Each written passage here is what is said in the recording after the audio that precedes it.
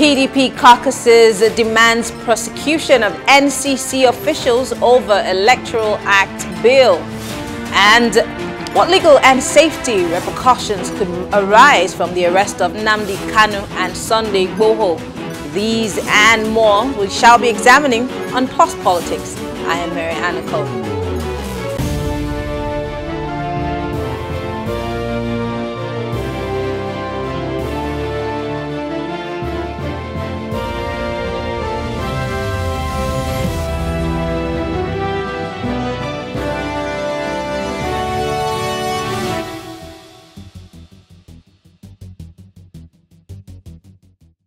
The People's Democratic Party PDP caucus in the House of Representatives have called on the appropriate authorities uh, to arrest and prosecute officials of the National Communications Commission NCC for claiming that the electronic transmission of results by the Independent National Electoral Commission INEC was not possible in the country. Earlier, NCC officials had claimed that the 2018 technical reports of the NCC showed that only about 50% of the polling units had 3G, while 49% had 2G network and below. The PDP caucus leader, Kingsley Chinda, said the NCC officials lied to Nigerians while on oath and as such must be prosecuted for allegedly misleading Nigerians. Well, uh, joining us to discuss this is Professor Paul Ananaba. He is a senior advocate of Nigeria. Thank you very much, Professor, for being here. Thank you. Great. Um, give, listening to the background, I mean, the whole of last week into this week. It's been, you know, a row between the Nigerians and members of the National Assembly. And of course, it's the Electoral Act bill that's been on the lips of people, including PIB. But we're not talking about the PIB today. We're looking at, um, you know, the Electoral Act bill. Um, now, the Senate had taken its position, obviously, and now the ball has fallen to um, the, the House of Representatives, who are now on recess. And well, everybody has their fingers crossed, hoping that um, when they come back, we would hear something good from them. But give us your take take on all that has transpired on the floor of the National Assembly on the Electoral Act bill? Well, let me start by saying that the issue of the Electoral Act is so important, it's significant, it is sensitive. So the National Assembly members, and indeed every Nigerian, should take the issues of the Electoral Act much, much serious. You see, because governance and the political structure is based on this electoral act because that's how you elect people. Mm -hmm. Now, when you look at our election trajectory over the years, I happen to have been involved in elections and election petitions. It trickles down and goes back to the Electoral Act. Mm -hmm. And then you see that at some point as if it is now the courts that give mandates. It is out of interpretation of the Electoral Act. And if we don't get it right from the Electoral Act, it will be difficult in 2023. So you're telling me that all of the problems that we've had, all of the hiccups that we've experienced in our electoral processes is because of the, the irregularities of, the, of our electoral act? of the electoral act. And that's why there's been that call that the electoral act should be amended. i give you an example.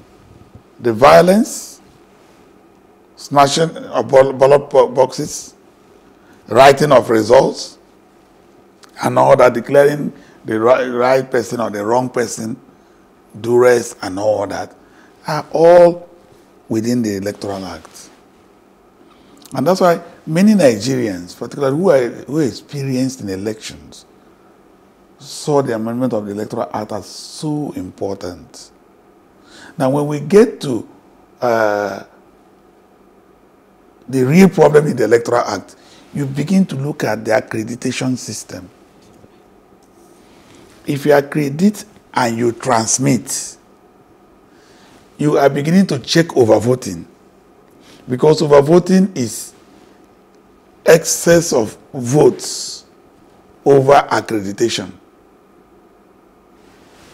Now, um, generally people thought that overvoting was just um, having more people uh, registered in a, a polling booth uh, voting in an election. Mm-hmm.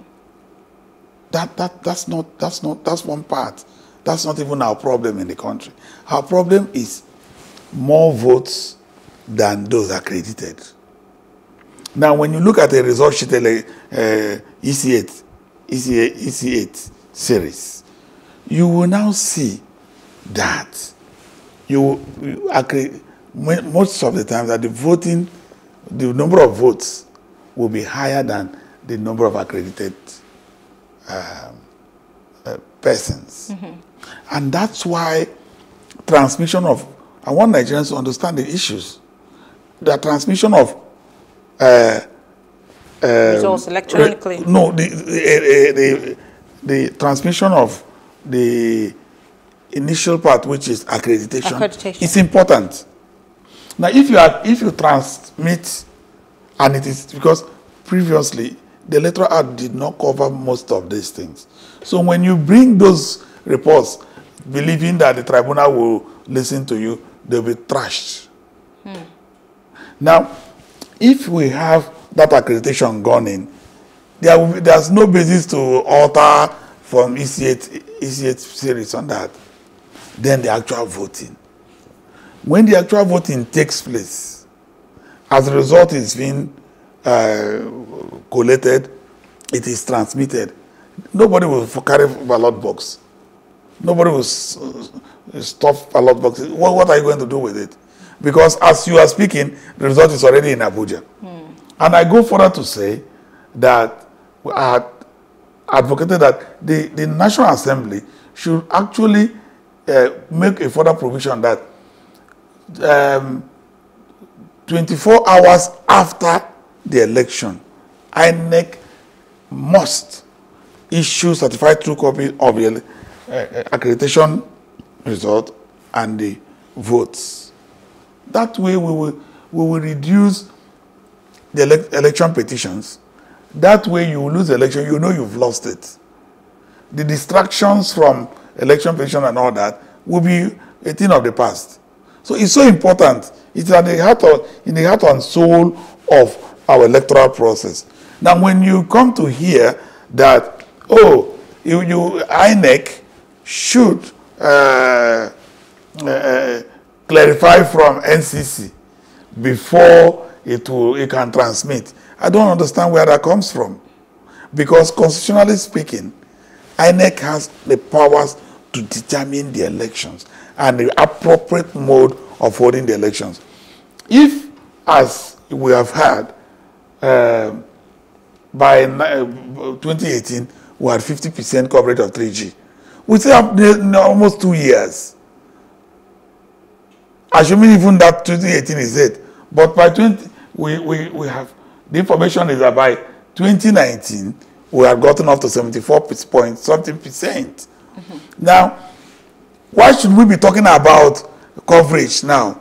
When we have more than a year, we are not that a, we are a country that has the resources to say, because this is so important, let us increase yes, we can, but have we done it? Because I think that this is the argument that some of these members were making, whether we agree with them or not. But this is the argument they were making. Is there a certainty that these areas have been covered? Has coverage been expanded to certain areas? I think I remember somebody even said on the floor that uh, there was no coverage in his area. I think it was. Uh, yeah, yes. Uh, although there are people from his area who also came out to, you know, rebuff him, but we were a country that can afford it, but have we done it? Now, the point we made is, can you remember the amount of money INEC has been getting? INEC came up and put those proposals. They would have done, I expect they would have done their homework. So what we are trying to say is, all that is required is for INEC to give a proper budgeting that will cover even if there is none. Technology today is no longer rocket science. That any part of this country can get even some gadgets that will ensure transmission, even for that particular day of the election. Mm -hmm. So it shouldn't even be an issue. All that ought to have been said for me is we have, yes, there will be transmission. INEC do all that is required to ensure there is transmission so that we can have credibility in the elections. Well, INEC had come out to um, also say that they do not have problems with transmitting these results uh, exactly all across the country. And so, of course, it makes Nigerians really wonder what um, the, the, the, National Assembly members have, why they have decided to go this route. And I, I, I want to ask you the same question. Yes. You're not a member of the National Assembly. Yes, but why I'm do you not. think that they have decided to go this route? I'm not in their minds, but I know that we, we politicize national issues. This is a bipartisan issue. It's, it's not um, uh, it's not matter of political leaning. Because some of the people in PDP today will still cross-carpet to A A APC. Some of the people in APC today will also cross-carpet to PDP. Once elect, uh, they begin national, the Congress, and people start losing grip of their hold on parties, mm -hmm. they start looking for where they will get proper hold. Mm. And when that happens, so so it, it doesn't really it's not even in the best interest of the pers person being partisan in refusing to do what Nigerians will need as of now. I think that transmission of results is so important. Any, uh, without hindrance on INEC, any hindrance on that is a recipe for uh, uncertainty in the elections. I do election petitions in many rounds, and I know that it's not in the best interest of this country to continue to have high level of election petitions. There should be cases where there should be petition, yes. And if there is electronic recording that is very clear to everybody, many people will be discouraged from challenging elections. And then credibility will gradually be built into our system. I think that the National Assembly see that it is still within them to try to rectify that situation? I mean, we saw how the Senate, you know, rounded it off. It also, amidst the hues and the cries, people were kicking against it. Governors even joined their voices. But the Senate seemed to have, you know, made up yeah, their mind. if the House of Reps goes, comes, comes with a different version, they will need to meet to harmonize. That is the hope. Yes. That is the hope. They will meet to, need to meet to harmonize the, the, the law.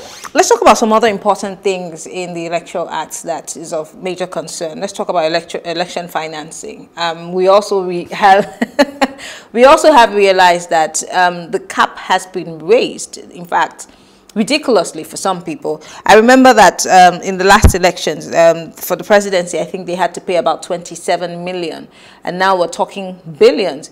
Election finances is an issue that Nigerians have been concerned about, especially with the not too young to run bill and you know trying to get more people on board. Do you think that this was done on purpose to try to um, maybe rid people of the opportunity to run for offices or to just preserve these offices for a certain group of people. What exactly is the idea with this raising well, of? Well, my speaking for myself, I I felt disappointed with that, those provisions because it also goes to show that uh, we may not be paying the appropriate attention to anti-corruption. If you give latitude for presidential election to up to 15 billion, what are you saying? You're saying that any candidate that wants to run for presidency should be able to have 15 billion or be capable of raising it. From where? Those who will help in raising that money, after raising it, won't it become an investment for them that they need to draw from? What are you making out of the country? What are you teaching the younger ones? So it means that one should rush and get money by any means. And then uh, if he wants to run an election, look at five governors, 5 billion. Even when it was 27 million, we were not able to control it. If you now say 15 billion, I, you will find out that uh, to run an election, that you have need over 100 billion. And that's the problem. It cuts off those who do not have the means, but who have this country at heart to serve this country. So we shouldn't monetize our election. Everything is becoming a money affair. It shouldn't be so. We need people who love this country, who wants to serve this country, not necessarily those who have all the money. Because by the time I'm asking you to come and donate to my campaign, I am going to make concessions, mm. known and unknown. It will lead to, uh, I, I, mean, uh, selling uh, people selling the assets. It will lead to, um, you know, ceding some political offices to even mediocres. Mm and less low productivity and we start complaining. And whatever happened to a level playing field for, all, I mean, all and sundry, just as you have said, those who really um, need to want to serve, who may not necessarily have the type of backing or the monies, the finances. I mean, where does that come in? Of course, let me also throw in the, there that we one of the positives is that we have been given op uh, an opening for those who do not necessarily need a political party. So we have uh, independents running. But if that that that for now will exist in theory in Nigeria. Why why do you think because, so? Because um, you, you, Nigerians need to come to terms to, with it and be able to run it. As we speak now, most political elements in this country belong to a political party. Now you and, can you mm. can only succeed. change that culture? You can only succeed. Yeah, over time, we'll now begin to know that oh, really, independent candidacy can work. It's not automatic. Why do we have to wait over time? Why can't we test it now? No, I agree that it's, we have independent candidates, but I'm saying it, when you now come into politics, who will the independent candidate will be having meeting with? He will have to source everything from himself. That's the problem. Well, that's when the he will be able to actually get to the people directly. maybe the person can succeed in a councillorship. And, and, and cut you want and, to run, and bypass want, all of the yes, party you want to run bottlenecks. For, you want to run for presidency in this country and you are independent candidate. Well, you set realistically, should you start, I mean, for an independent, realistically, should you start by running for presidency? So why do we set up a situation where uh, people are practically excluded from the beginning? You want to be a governor, you work in a state, and then you begin to set up your own structure in a whole state. That you, the 15 billion will be a child's play. So these are the realities, you know, the is and the ought in the arguments. Now, who monitors this money, the, the, this funding? Who monitors it? How it is gotten? How it is spent? You are talking about electoral offenses commission. Are we are we ready for it? I, I, I, I encourage an election offenses commission. Perhaps if we had that, it would have helped us to in, some extent. In, 20, in 2015, if I'm not mistaken, um, that was the first time um, SERAP uh, started asking questions about political party uh, and funding. funding. Um, in 2019, if I'm not mistaken, they took the PDP uh, and the APC to court asking that they make their party finances open. As we speak, it's still yet to be to be adhered to. And it's not that it's anything outside our laws. There is there is some provision for those monies to be made open. And here we are talking about monies that have gone up to 15 billion uh, naira for you know um, party tickets. So really, um, who's overseeing all of this, and, That's and, the point. and how, who holds um, these parties to account? That's the point. I, I, and I tell you, when you are when you are looking at an election issue, the issue are, and you are and you are questioning an election based on uh, malpractices or corrupt practices that, uh, well, for example, some people committed some of you, the, the tribunal will tell you that you couldn't, you, you have to prove it beyond reasonable doubt. Mm.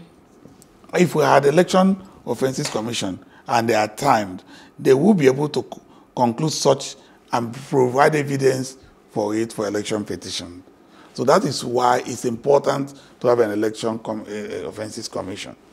And it will, uh, I believe that such commission should be given powers to monitor, investigate, how independent, and monitor. How independent should that be? Because I'm asking this question and you know where I'm coming from. We have yes. the we have INEC, which has an appendage independent at the beginning, but really is INEC independent.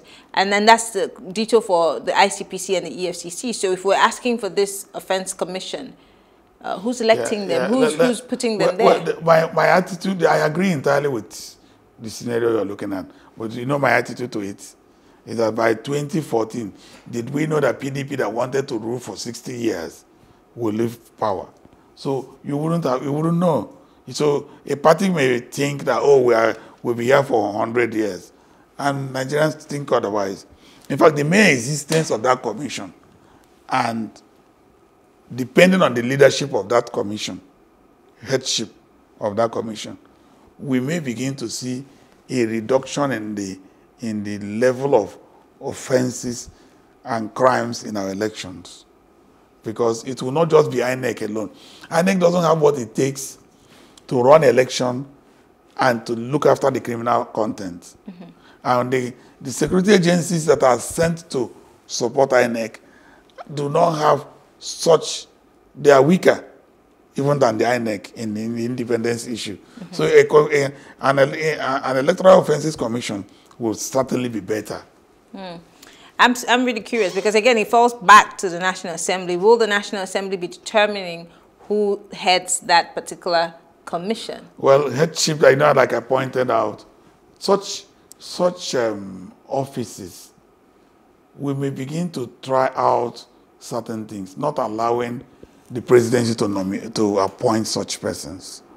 We've been used to uh, public officers being nominated by the president or appointed or all that. I best they say they go through senatorial uh, screening. But isn't that what the constitution well, allows? Yeah, that's what I'm saying.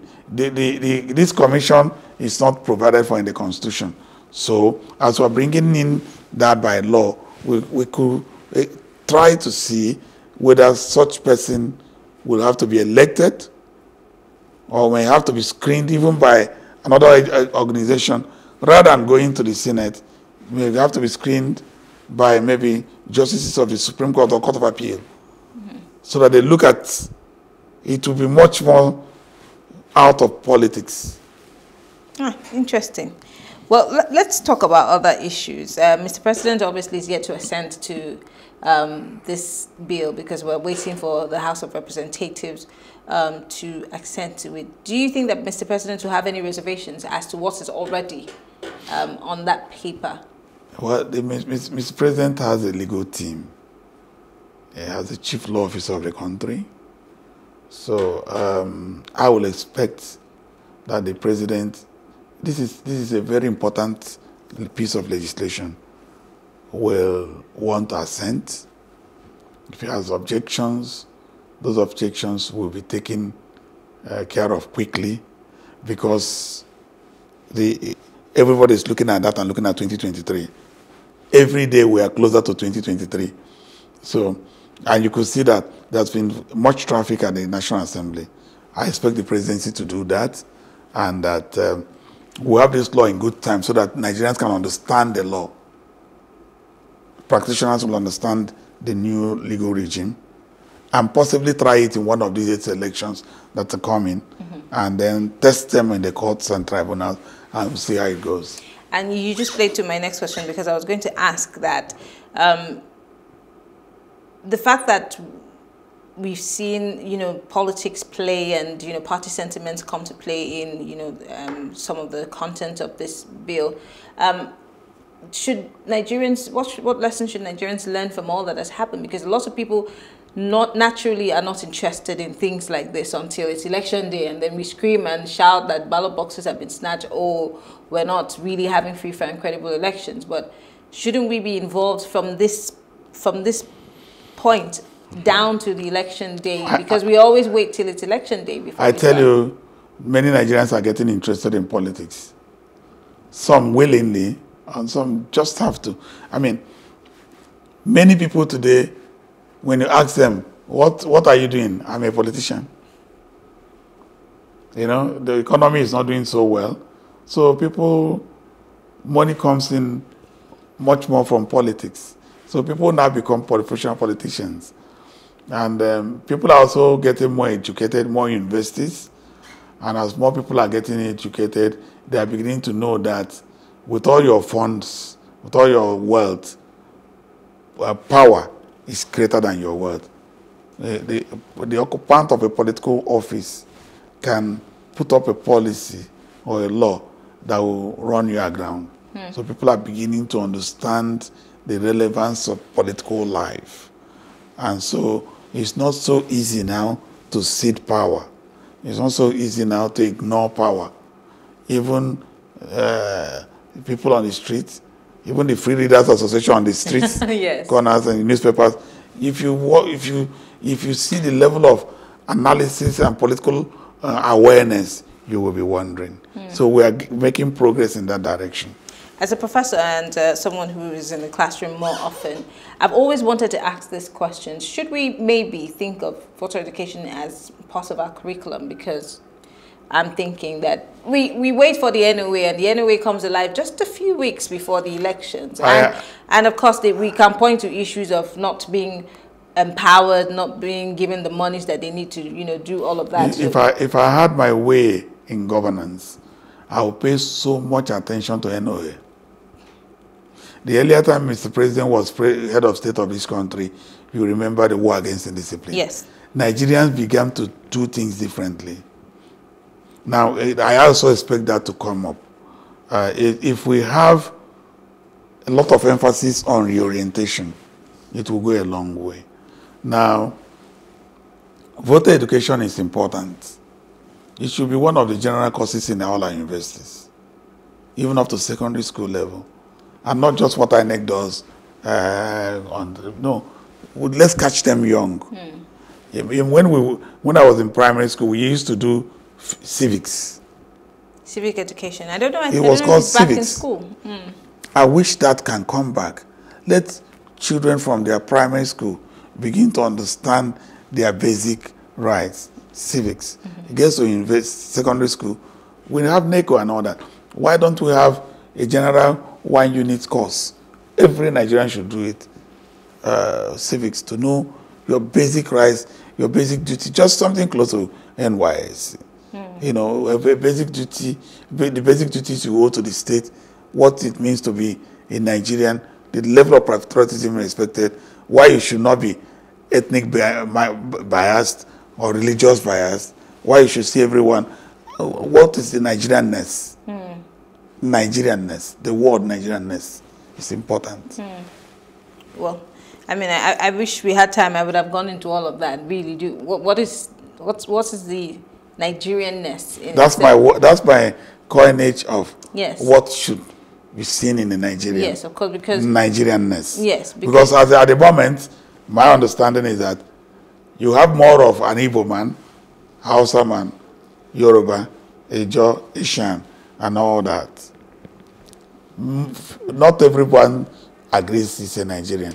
Yeah, and, and so we should begin to talk and about we, and we should be asking those questions. Nigerianness. Yes, because when you go abroad and you meet an American, I mean, you ask yeah, where are you from? He says I'm American. I'm American. Uh, but in Nigeria, I think we're Igbo first. Before I mean, you asked me a question today, yes, and, yes. and my answer was yes. So we're all victims of exactly. you know the situation. I mean, it's a conversation for another day. But before we go, um, the average person who's been having this conversation, whether on breakfast tables, in beer parlors, or at the free reader stand um, is asking what is the fear of the average member of the National Assembly? Why are our politicians afraid of this election, um, the electronic transmission of results? What is really the apprehension?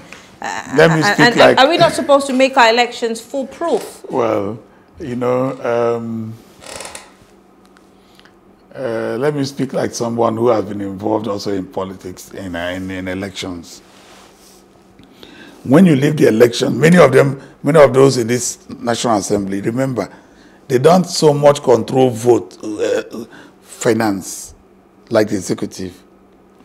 At the local levels, they are highly respected. Mm -hmm. They are in Abuja, mm. in the House of Assembly. So people will have been expecting that they will get to Abuja and come with lorry loads of funds and give everybody jobs. They don't bring it. So many of them are not popular at home. Now, the only way to go is to save funds and influence the election by way of using their voice to make sure police everything to make sure they win. Mm. They are no, they will not be very comfortable in my thinking to throw the election open and say whatever comes up. Transmission of results will make it impossible for you to write results. That's what they call, those what they call write results they get elect, uh, paper, uh, the uh, electoral sheets and write results.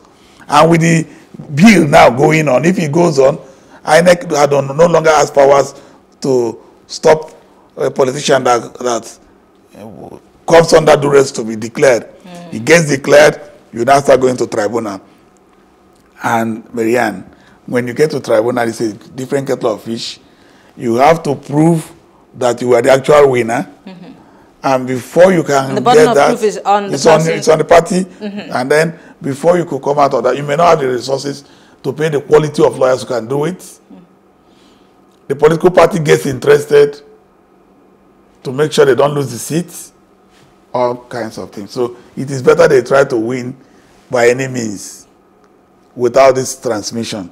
This transmission may not be in the best interest of politicians who have not done well. And it makes me really wonder where the interest of the average Nigerian comes in here, but of course that's a story for another day. Uh, Professor uh, Paul Ananaba is a senior advocate of Nigeria. Thank you very much for being part of this Thank conversation. You. Well, Thank we'll take a short break, and when we come back, we'll be discussing the arrest of Nnamdi Kanu and Sunday Igboho and the legal insecurity issues surrounding it. But first, we want to find out from Nigerians what they're thinking on the streets. Stay with us.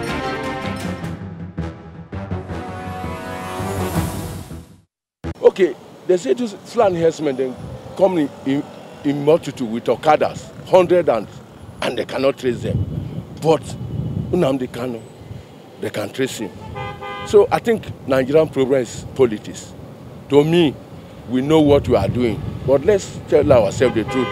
If they can fetch Nnamdi Kanu from outside country and Fulani herdsmen, they cannot trace them, then who is fooling who? Um, first of all, it's corruption which is normal in the country because and it's not about Nigeria, it's about Africa because he was arrested outside Africa, outside Nigeria, sorry, which is not supposed to happen, you know. And we all know that fighting for your rights or for the um, progress or movement in this country is not possible. So, um, well, it's not right.